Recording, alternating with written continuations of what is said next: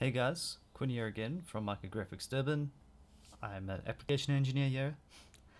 So normally I give a whole bunch of tips, tutorials, etc. on Plant 3D, but today we're focusing again on just plain down normal AutoCAD.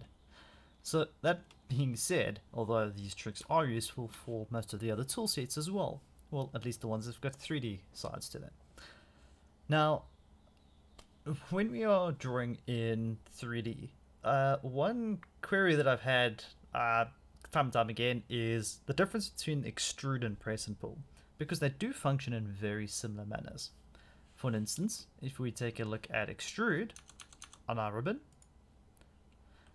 if we're wanting to extrude this out as a wall, by the way, if you're wanting to do a wall, probably better to use polysolid, but if you already got the wall driven over here, it's drawn out, sorry, it's probably better to just use extrude or push pull. And I'll show and I'll tell you the reason being as to why you'd want to use a different one now.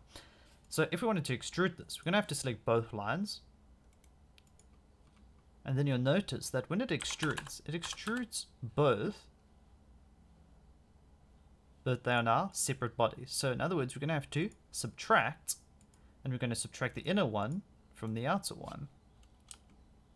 Now, here's the problem, is that once you've done this, you can't do any editing by using the grips. You'll notice that if we step back a bit, before we've done our subtraction, we could still use grips to resize, where now we can't. Now we are stuck as soon as we subtract to whatever we've got here, and we'll have to use our normal direct editing methods in order to edit this.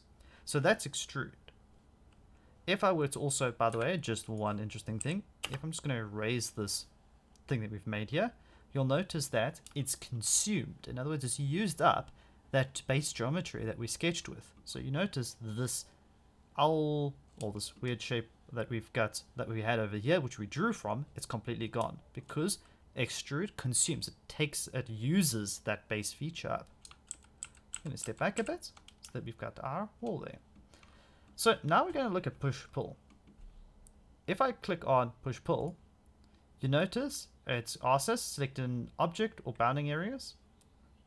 Now, normally the easiest way to do this is just to zoom in quickly close to the intermediary area. So, the, uh, the, the bit between the two, so the wall itself. Now you can see both lines are highlighting. Once this is done, but once we've got both lines, we can then click in the middle and then push pull up. So once this is done, you'll notice the command doesn't exit out. If I hit escape, exits out the command. But now when I select this wall, you notice, hey look, I've got my grips and I can quickly and easily move this thing backwards and forwards. Or time them out. Or do any of the other adjustments that we would require. That, by the way, was actually a taper that I was moving by accident. I thought I had a move grip. That being said, also, if we were to erase the walls, you can see we still have our base geometry.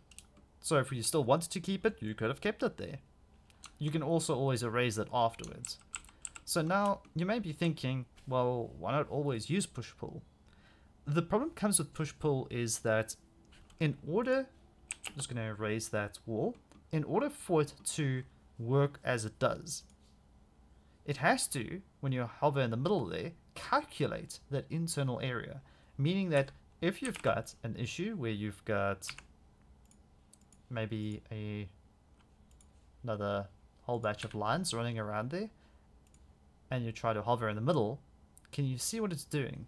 it wants to try and break it up. So that's firstly its what its first weakness, should I say, that you'd need to have a nice clean internal geometry, or otherwise do it all separately, which may take even longer. Uh, because if you do it separately, then you're going to have to add them all back together again.